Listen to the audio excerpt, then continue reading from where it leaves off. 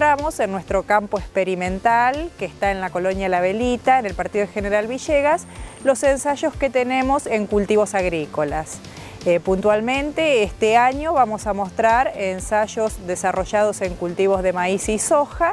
y vamos a tratar de mostrar tres o cuatro paradas a la mañana y comenzaremos con una charla introductoria dando un panorama regional en lo que es la producción de los cultivos, los distintos suelos donde se desarrollan esos cultivos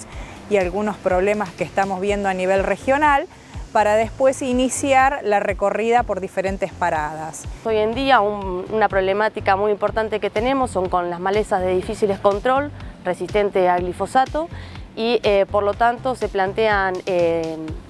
eh, tratamientos alternativos para el control de estas, de estas malezas, haciendo hincapié en yuyo colorado, que es una maleza resistente a glifosato y a ALS.